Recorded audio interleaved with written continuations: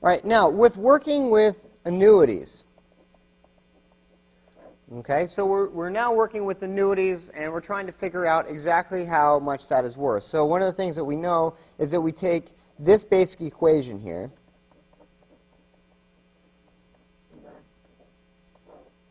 okay, and we can then figure out and we can solve for the for a particular uh, for a particular solution.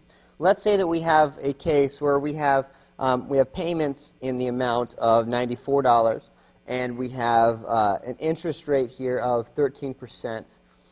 And let's say that we have 10 payments, okay? And we're trying to figure out what our present value is, okay? So we can substitute and solve all this stuff in, right?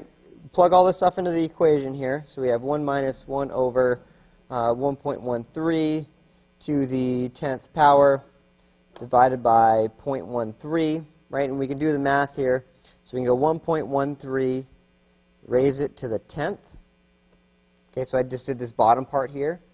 Okay, and then I can hit the I 1 over x, right, which brings it down to the bottom turn it into a negative. So that's this whole part right here is that negative 0.29. And then we can add 1 to that. And so that 0.705, that's going to be the top here. We're then going to divide that by 0.13. Okay, so that this whole section here is 5.43. And then we're going to multiply that by 94. Right, and so that's going to tell us that we have a present value of these payments of 510.07.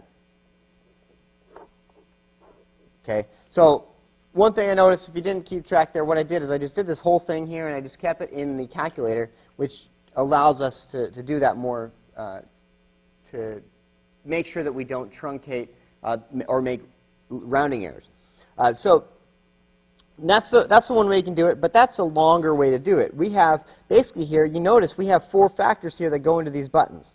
The only one that we're missing out on is a future value.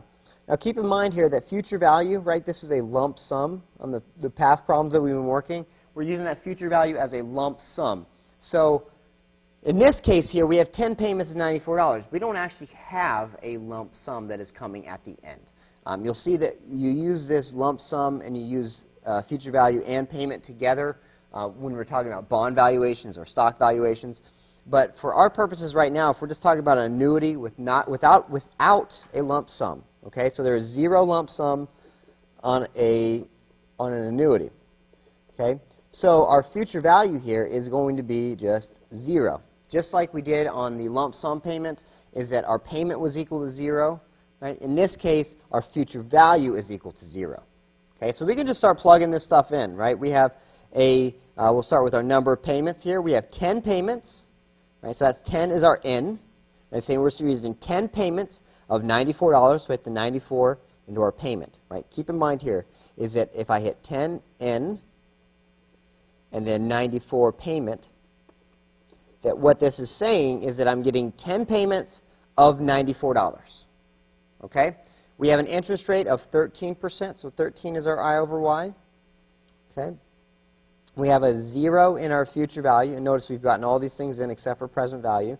And so we're going to hit compute present value, and holy, whatever, look at that. Right? We have a present value of 510.07, right? The exact same number that we came up with in this case right here. Okay? So um, that's the basic way that we are working through uh, using an annuity, the annuities in our calculator. Okay?